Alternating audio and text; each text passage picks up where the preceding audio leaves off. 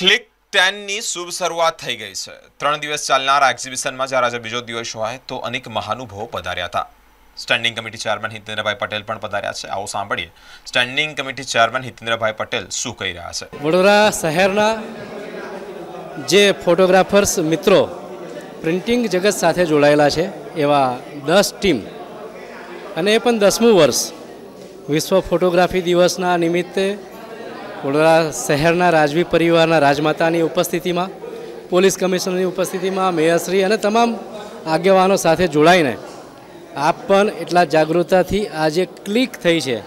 ફોટોગ્રાફર્સના માધ્યમથી એક ક્ષણને કંડારવાની જે વાત છે એ ફોટોગ્રાફ કેમેરાના માધ્યમથી એક ક્ષણને માનવા, એક ક્ષણને કંડારવા જે સમય આપવો પડતો હોય છે, દિમાગ લડાવવું પડતું હોય છે એ ખૂબ આબેહૂબ છે અને ધન્યવાદને પાત્ર છે.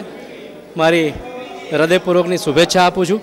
આ ટીમ વધુને વધુ સારા આવા કાર્યો, દ્રશ્યો ઉજાગર કરતા રહે અને સાચી વાતને, સાચી જે દિશા છે એને પણ કંડારીને લોકો સમક્ષ રજૂ કરે.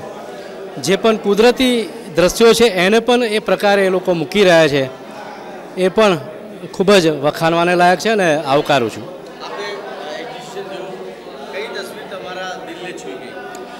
આખાએ જોવા જઈએ તો કોરોના સમયમાં જે કામગીરી કરી હતી અન્ય સમાજના લોકોએ, પોલીસે પણ એક દ્રશ્ય છે અને સ્ટેચ્યુ ઓફ યુનિટી પાસે ગાય માતાના દ્રશ્યનું પણ એક દ્રશ્ય છે.